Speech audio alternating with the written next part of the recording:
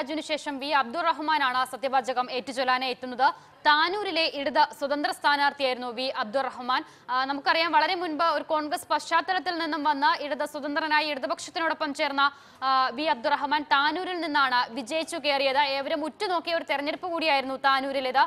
P K Firoz ആയിരുന്നു എതിർ സ്ഥാനാർത്ഥി. ഏറ്റവും ഒടുവിൽ വരെ ശക്തമായ മത്സരം കാഴ്ചവെച്ചാണ് താനൂരിൽ നിന്നും ഇടത് സ്വതന്ത്ര സ്ഥാനാർത്ഥിയായി അബ്ദുറഹ്മാൻ വിജയിച്ചു വന്നിരിക്കുന്നത്. ന്യൂനപക്ഷ വകുപ്പായിരിക്കും അബ്ദുറഹ്മാൻ കൈകാര്യം ചെയ്യുക എന്നതാണ് ഏറ്റവും ഒടുവിലായി അറിഞ്ഞിരിക്കുന്നത് ന്യൂനപക്ഷ വകുപ്പ് മന്ത്രിയായി സത്യവാചകം ഏറ്റുചൊല്ലാനാണ് വി അബ്ദുറഹ്മാൻ ഇപ്പോൾ വേദിയിലേക്ക് എത്തിയിരിക്കുന്നത്.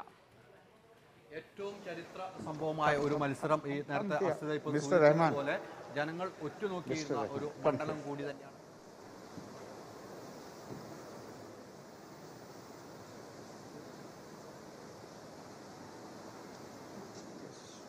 Take ടേക്ക്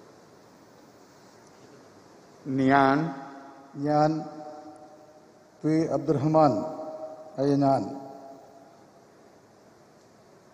ഭരണഘടനയോട് നിർവാജ്യമായ വിശ്വസ്തയും കൂറും പുലർത്തുമെന്നും ഞാൻ ഭാരതത്തിന്റെ പരമാധികാരവും അഖണ്ഡതയും നിലനിർത്തുമെന്നും ഞാൻ കേരള സംസ്ഥാനത്തെ ഒരു മന്ത്രി എന്ന നിലയിലുള്ള എന്റെ കർത്തവ്യങ്ങൾ വിശ്വസ്തയോടും മനസാക്ഷിയെ നിർത്തിയും നിർവഹിക്കുമെന്നും ഭരണഘടനയും അനുസരിച്ച് ഭീതിയോ പക്ഷപാതമോ പ്രീതിയോ വിദ്വേഷമോ കൂടാതെ എല്ലാ തരത്തിലുള്ള ജനങ്ങൾക്കും നീതി ചെയ്യുമെന്നും ദൈവത്തിന്റെ നാമത്തിൽ സത്യപ്രതിജ്ഞ ചെയ്യും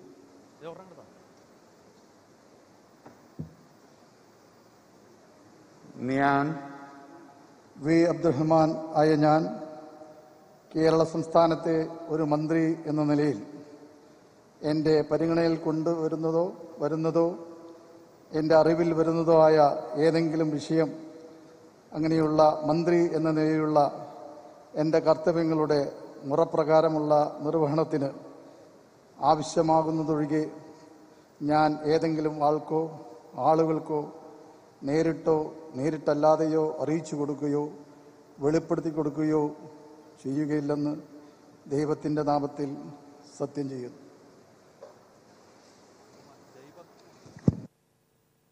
അധികാരമേറ്റത്. നമുക്കറിയാം ഫിറോസിനെയാണ് മുസ്ലിം യൂത്ത് ലീഗിന്റെ നേതാവ് ഫിറോസിനെ പരാജയപ്പെടുത്തിക്കൊണ്ടായിരുന്നു അബ്ദുറഹ്മാന്റെ ഒരു വിജയം. അതൊരു തിളക്കമാർന്ന വിജയമെന്ന് തന്നെ വേണം. ആ സമയത്ത് തന്നെ എല്ലാ മീഡിയയും എല്ലാ ചാനലുകളും ദൃശ്യമാധ്യമങ്ങൾ ഉൾപ്പെടെ പറഞ്ഞത് വളരെ ശ്രദ്ധയോടുകൂടി അവസാന നിമിഷം വരെ വളരെ മത്സരം കാഴ്ചവെച്ച ഒരു മണ്ഡലം കൂടിയായിരുന്നു താനൂർ. ഈ താനൂർ മണ്ഡലത്തിൽ നിന്നും വിജയിച്ച് അധികാരത്തിലെത്തിയിരിക്കുന്നു. ഇത് ഒരു ചരിത്ര മുഹൂർത്തത്തിനാണ് സാക്ഷ്യം വഹിച്ചിരി വഹിച്ചിരിക്കുന്നത്. പ്രവാസികാരി ഉൾപ്പെടെയുള്ള വകുപ്പുകളുടെ ചുമതലയാണ് ഇദ്ദേഹത്തിന് നൽകിയിരിക്കുന്നതെന്ന് വേണം നമുക്ക് മനസ്സിലാക്കാൻ.